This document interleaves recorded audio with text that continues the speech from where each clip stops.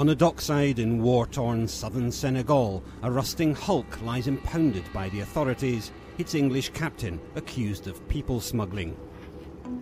The alleged involvement of a British citizen is a disturbing development in the ongoing tragedy of African migration, which has seen thousands die in a desperate bid to make it to Europe.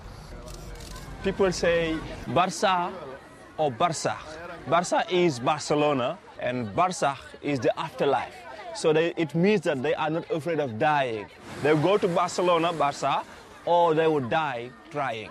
Most migrants still rely on traditional wooden pirogues like these for the dangerous journey to Europe.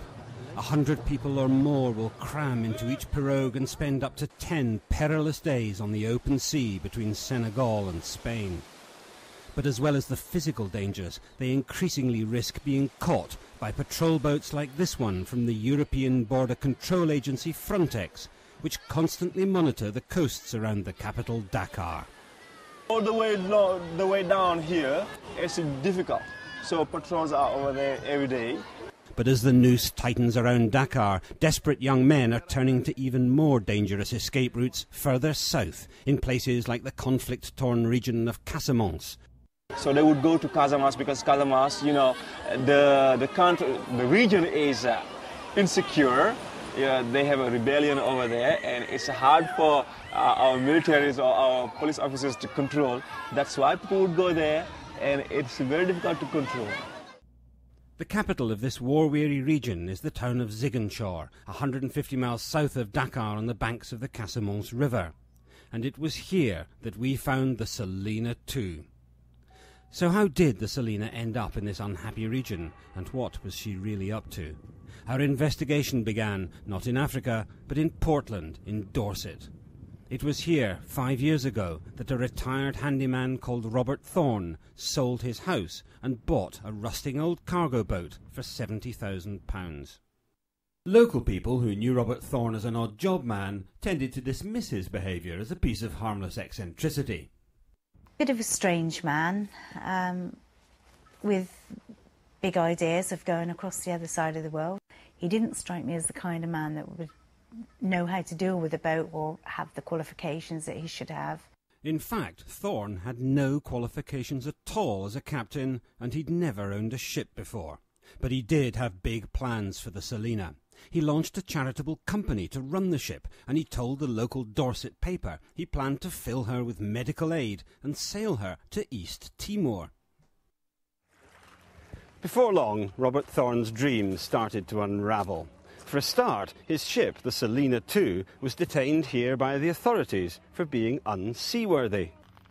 For months, the Salina remained tied up in port, forbidden from putting to sea but all the time she was incurring more and more port fees. Then, one night, under cover of darkness, Robert Thorne and the Salina disappeared, owing thousands of pounds in mooring fees. The ship was deemed by the Marine Coast Guard Agency as unfit to go to sea.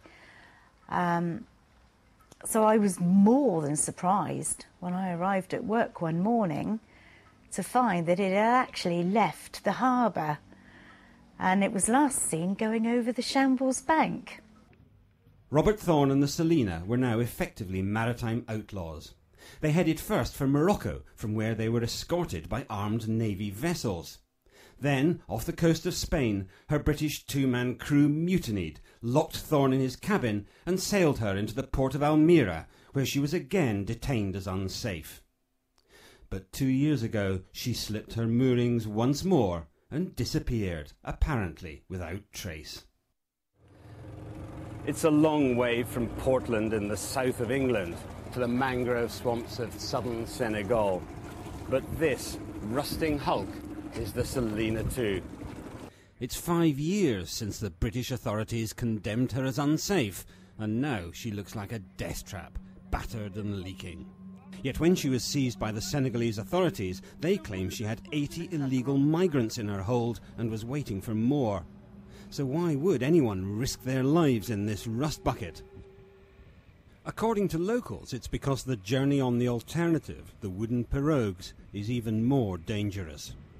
Local human rights activist Abdulaziz Mbai took me to a bridge around 30 miles from Ziguinchor, where he says the clandestines or illegal migrants wait in darkness for the pirogue to arrive, which will take them on the perilous journey to the Canaries.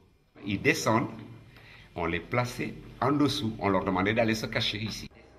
On the bridge, some graffiti depicts the journey, and nearby, someone has marked the date of the last departure from here. Ils sont quelquefois 100 à 200 dans une pirogue. Ils sont serrés comme des sardines. Ils ne peuvent pas bouger. Il y a des gens qui tombent malades. Et il n'y a pas de médicaments. Généralement, quand il y a quelque chose euh, en pleine mer, si euh, ça ne va pas, il y en a d'autres qui n'hésitent pas à prendre la personne, à le jeter en pleine mer. And even those who escape death may simply be captured and returned home. That's what happened to these three boys. Man nag moom demoon naa deux jours benn journée balaa ñu egg moom bu ñu eggaloon jour moom man da xam naa damay dee parce que dem naa ba mënatuma dëgg mënatuma gis. Liw naa sonn naa xiif naa dëggatuma dara. Xam naa ni moom maa dund mais dëggatuma dara. Mënatuma xamee mënatuma kii. Te te ñi nga xamante ni moom sama ñetti morom yi jours après la ñu dee. Ñooñu moom dañ ñoo gën a sonn. Mais dañu dama bëgg ngeen xam yeen souffrance gaal bi parce que man mii di leen ko wax sax ma leen ko waxee noo leen koy jëlee du leen doy. Il faut ngeen dund. Il faut ngeen dund ko instant wax ni ko damay sama xol day day rek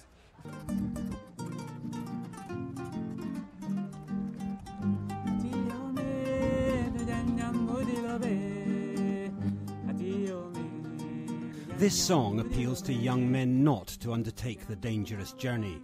But the reality is, whole families will pool meagre resources to send each clandestine. It costs around $500 for every trip, even on one of these small wooden craft, an enormous sum requiring huge family sacrifices, made in the certain confidence that their young men will send money back when they start to earn. And for many families, there seems to be no alternative to the desperate journey to Europe, despite the risks. Uh, people die. Yeah, people they die when they go. Some of them they die, some of them they succeed. And how do the mothers feel when they see their children leaving in these very dangerous boats? I don't think though they, they can be able to stop them from going because if you stop your child to go, you don't have anything to give your child. So it's better for you to leave him to go and try and see whether he will succeed or not. Increasingly, they venture further and further out to sea and into even greater danger to avoid the Frontex patrols. But the migrants' latest method, though even more expensive, is to start the journey in small, innocent looking fishing boats and then rendezvous at sea with larger vessels like the Salina. That, say the Senegalese gendarmerie, is what the Salina was doing. After his arrest, the Salina's captain, Robert Thorne, was held here in Ziguinchor town jail for three months until he was released on bail on medical grounds while the investigation into his case continues. He is now in hiding in the Gambia, but before he disappeared, I managed to meet him in prison, where he insisted he was innocent of the charges.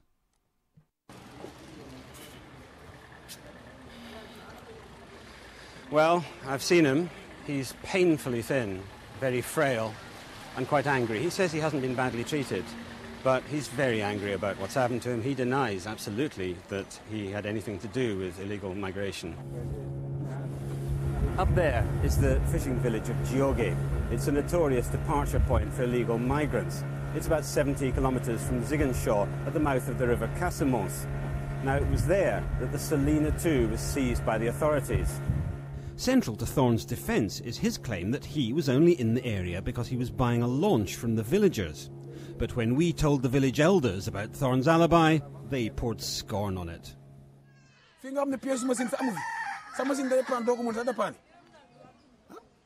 Fu ñu amee pneumatique bato bi dafa ñëw pour fab ay nit ay nit la waxaale pour yóbbu leen Espagne. Nañ bay ñoon ñi dem nañ delloo bato bi jàmbur kooku dem. Seen ñoon ndaw ci nañ bay bato bi.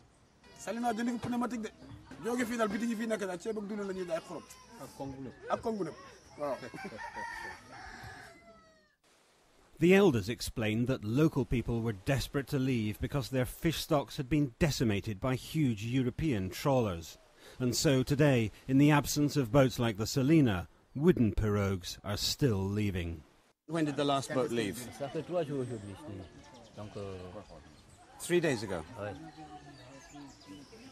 Today, Robert Thorne remains in hiding in the Gambia and his ship sits by the dockside in Ziguinchor while the investigation continues.